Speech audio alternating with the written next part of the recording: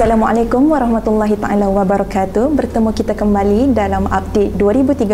Saya Siti Nadira Khalid. Tuan Guru Ni Abdul Aziz Nikmat Mushdul Ampas menegaskan bahawa kerajaan pusat tidak menyampaikan royalti minyak Kelantan sebalik menyerahkannya kepada kroni melalui JPP. Beliau juga menegaskan seharusnya harta Kelantan diberi kepada kerajaan Kelantan melaluinya selaku Menteri Besar Kelantan. Selain itu, beliau juga mengingatkan bahawa mereka hanya dapat ber berdiam diri di dunia, di akhirat kelak ditampar Tuhan.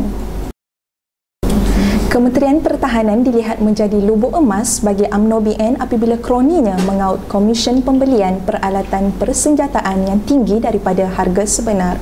Kata bekas Ketua Staf Logistik Markas Logistik Udara Laksamana Besara Imran Abdul Hamid Katanya pendedahan terbaru tentang projek pembinaan kapal tempur pesisir pantai Littoral Combat Ships yang nilainya daripada 6 bilion sebelum ini meningkat kepada 9 bilion setelah diluluskan Parlimen menjadi bukti realiti ini.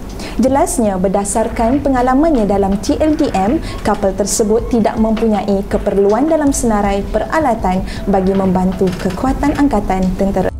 Sekian saja dari update PRU 13 dan akan kami bawakan lagi info-info lanjut. Teruskan bersama kami, kami melaporkan daripada perspektif yang sebenar.